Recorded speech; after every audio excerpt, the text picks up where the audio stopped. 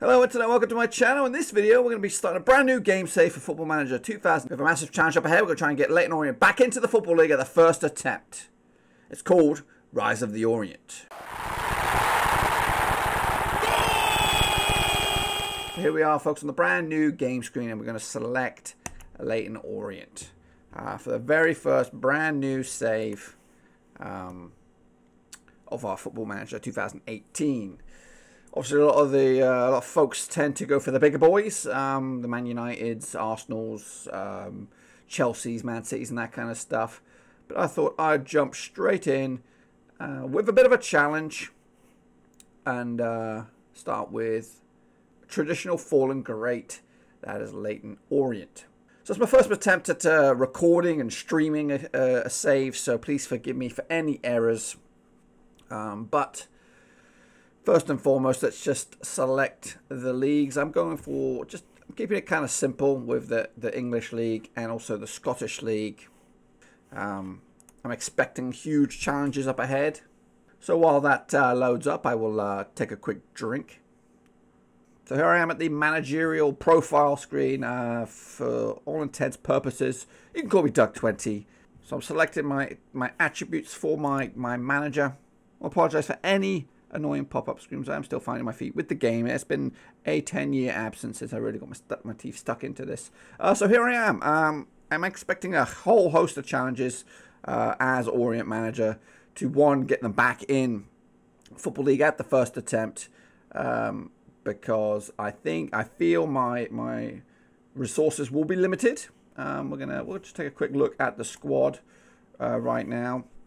If you haven't checked out any of my previous Football Manager videos, my initial batch was pretty rough around the edges because I was trying to be pretty prompt with getting them out there and my views, my, my team views were pretty limited and basic. Uh, I'm getting the hang of it now, but uh, so I, I, have tweaked my view to look like this. Obviously the Leyton Orient squad, there's not many too many standouts um, for any people that's not familiar with. The one clear standout is Jobi McAnuff, the former Reading player who played in the Premier League. He's uh, he's on uh, Leyton Orient's books. He's also represented Jamaica on over 30 occasions. So um, he's going to be crucial in my uh, push for promotion. Most expensive player currently on the books, Jamie Sendles White, is Northern Ireland. Defender, he's been capped at the under 21 level a few times, so a lot of responsibility at the back will be on him. We've also got an experienced Cameroon defender, George Elokobi. Um, no caps to his name, but uh, been around the English game for quite a while. Played for Chester, Colchester, Notts Forest, Wolves, amongst others, so he's going to be critical. Uh, Alex Lawless is another familiar name if you uh, keep up with the lower leagues. Uh, 32 years old, defensive midfielder. Played for, well, was on Fulham's books for a while, representing York and Luton, uh, amongst others. So experience and a lot of youth to, to choose from. As for the finances, pretty stretched as it is.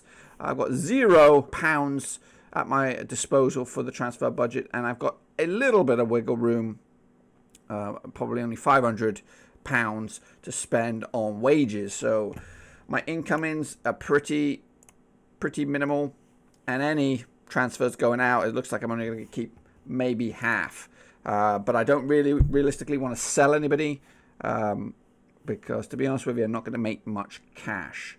Uh, so I'm going to be exploring the loan market, perhaps getting a couple players on um, that I don't really have to pay for any wages. That's probably going to be cru crucial for me. So let's take a quick look at my youth setup. Here's the under 23s. Uh, we have a Albanian youngster, uh, only 16 years old uh, midfielder on our books. I might start to feed him if uh, if the situation arises. Dan Happ, central defender, 18 years old, looks like he's got a cracking future. Hopefully we can uh, benefit from that in one way or another. Into the under 18s, um, again, Luca Carter Henry, 17-year-old left-sided midfielder, got some you know potential here. Could be a, a four-star uh, in the future. And Mason Hall, right back again, hopefully we can push these guys into some first team action towards the, you know, maybe during the season. I don't know.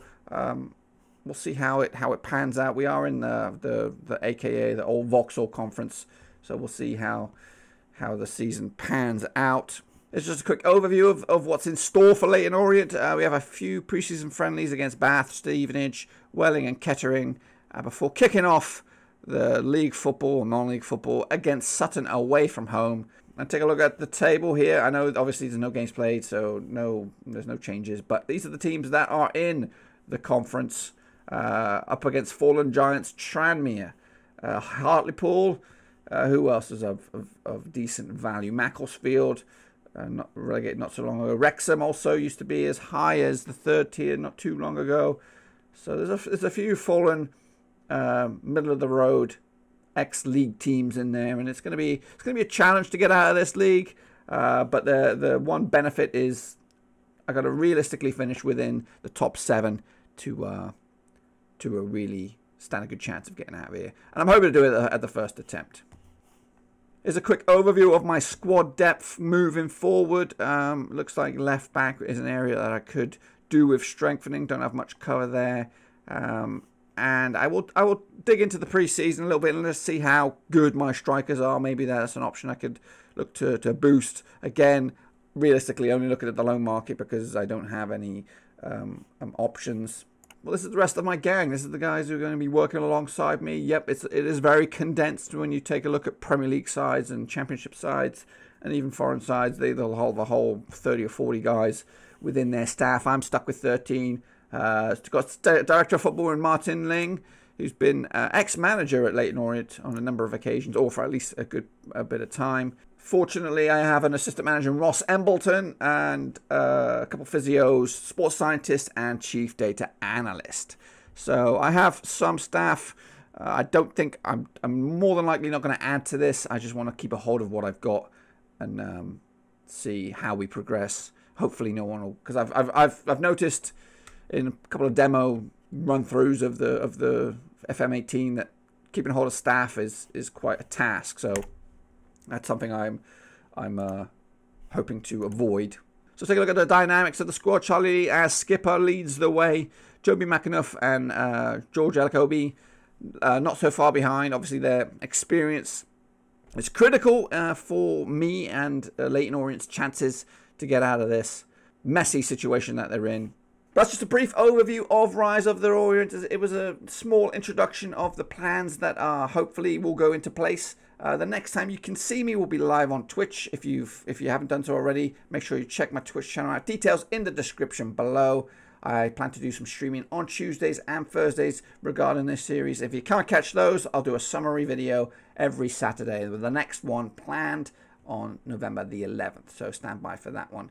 Um, if you enjoyed this video, give it a thumbs up. And if you haven't done so already, make sure you hit the subscribe button and keep you bang up to date with all FM related content. As for my Rovers fans, don't you go anywhere. Rovers is always going to be my number one. I've got a lot of stuff in the pipeline. Rovers are related, obviously, the reviews and previews and cast the cat and all that kind of stuff. So don't you go anywhere. But yeah, it's going to be an enjoyable series. It's going to be an enjoyable ride. Hopefully, we can uh, we can we can get some wins under our belt early doors and then uh, start to steer the Orient back towards Football League. So until next time, ciao for now. Thanks for watching. Please like, share, and subscribe. Check back for more FM content over the next few days.